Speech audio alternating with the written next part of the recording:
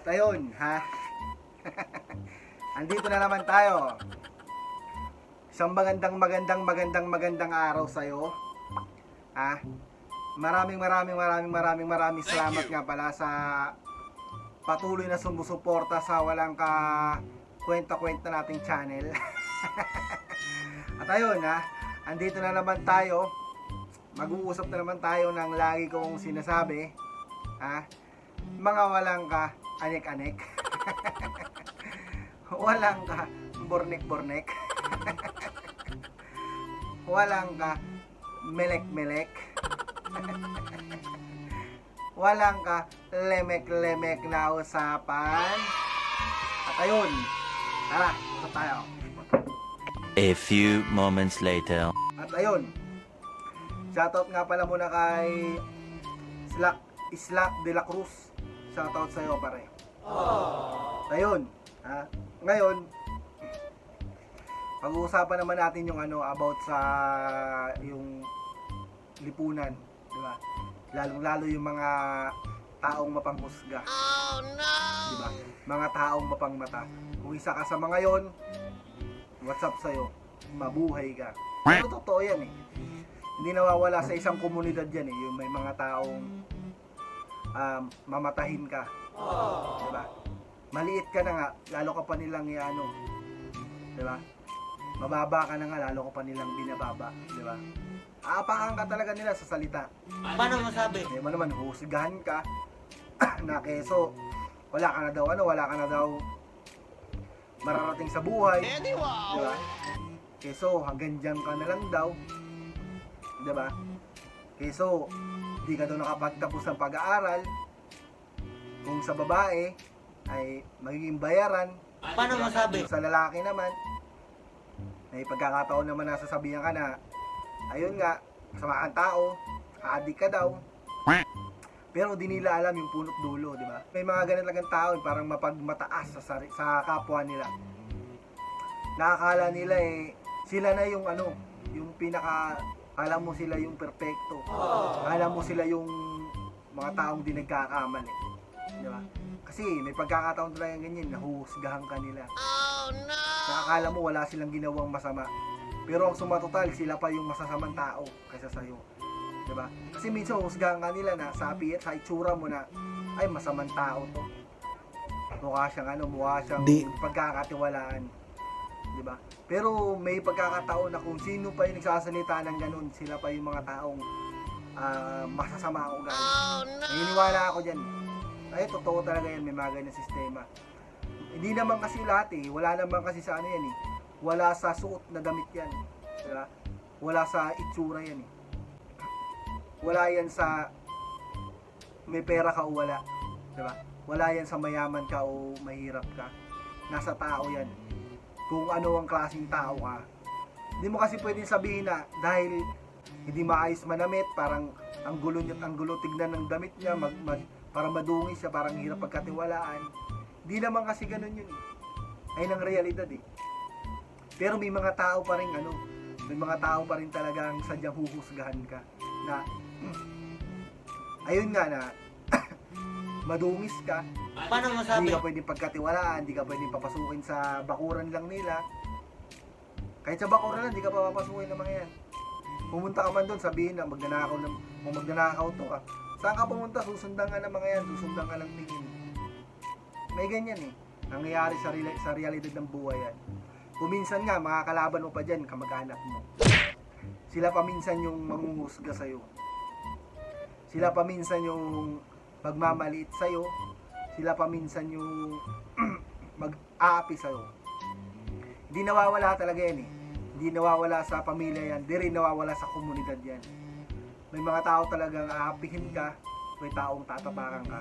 At higit sa lahat, may taong huhusgahan ka.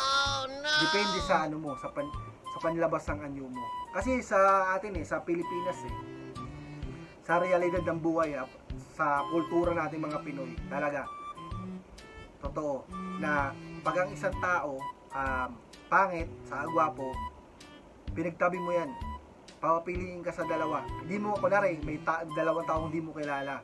Tapos may isang pangit, tapos isang artistahin ng dating. Papapiliin ka sa dalawang, pipiliin mo yung artistahin yung dating. Kasi ganun tayo eh. Ayun naman talaga ang realidad eh. Parang ano tayo eh, ah, ah, tumitingin tayo sa panlabas na anyo. Hindi tayo tumitingin sa hindi tayo tumitingin sa nandito, nasa loob. Kung ano ang laman ng dito niya, di ba? Hindi natin tinitignan yan. At tinitignan, ang tinitignan natin kalimitan yung kung ano ang ano niya eh, kung ano ang itsura niya. Dun, dun kalimitan na huhusgahan ng tao. Kasi, kumbaga sa akin nga dati, eh, halimbawa sa akin nung araw, tambay-tambay, may mga matatanda na titingin-titingin sa'yo, na mula sa ulo hanggang paa, parang ganon, parang kahit di sila magsalita, hinuhusgahan ka na nila. Kasi nagiinom ka na, tambay ka eh. Na, ay hanggang dyan lang yung mga yan.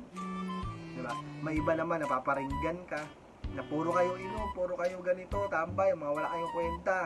Hanggang dyan lang ang buhay nyo. Parang ganon, di ba? Pero ang sumatotal niyan, yung nagpaparinig sa'yo, mas angat pa yung buhay mo sa kanila. Ba? Or mas maayos pa ang buhay mo sa kanila. Pero sila pa yung mapanghusga. May ganyan eh. Ba?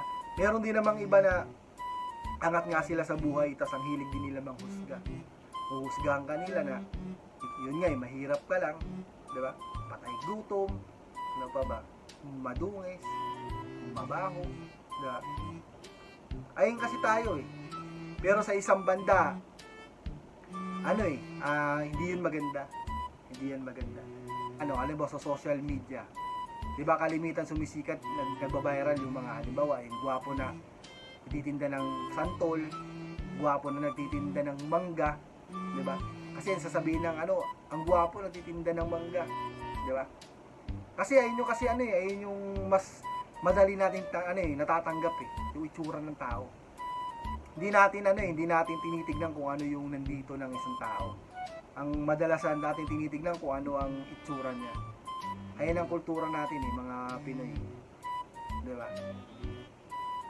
Mahilig din manghusga. Di ba? Baka iba nga, yung may mga tato.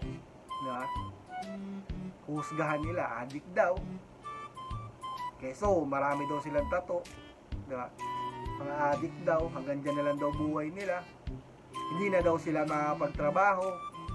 Kasi marami daw silang tato. Galing daw sila ng kulungan. Kasi marami daw silang tato. Di ba? Masasamang tao daw sila. Kasi marami silang tato. Di ba? May ganyan eh. Nangyayari talaga yan eh. Eh hindi naman yun dun eh. Hindi naman yung basihan eh. Di ba? Lalo na pag ano, pag yung may tattoo ka tapos ano ka pa, yung hindi ka pa kamukha ng iba na gwapings. Wala na. Sabihin nun, wala na to, patapo na buhay nito. Pero, kaya nga sa mga ano dyan, sa mga taong nahuhusgahan, payo ko lang sa inyo, na tuloy mo lang kung ano ka. Huwag mong isipin ang sinasabi ng iba. Hindi mo naman yung ginagawa para magpasikat, magpasikat sa kanila eh. Hindi mo naman yung ginagawa para mapasaya sila. ba? Gawin mo kung anong nakaka naaayon sa iyo at ano yung magpapasaya sa iyo. Huwag mong gawin, huwag mong gawin ang isang bagay na magpapasaya sa komunidad. 'Di ba?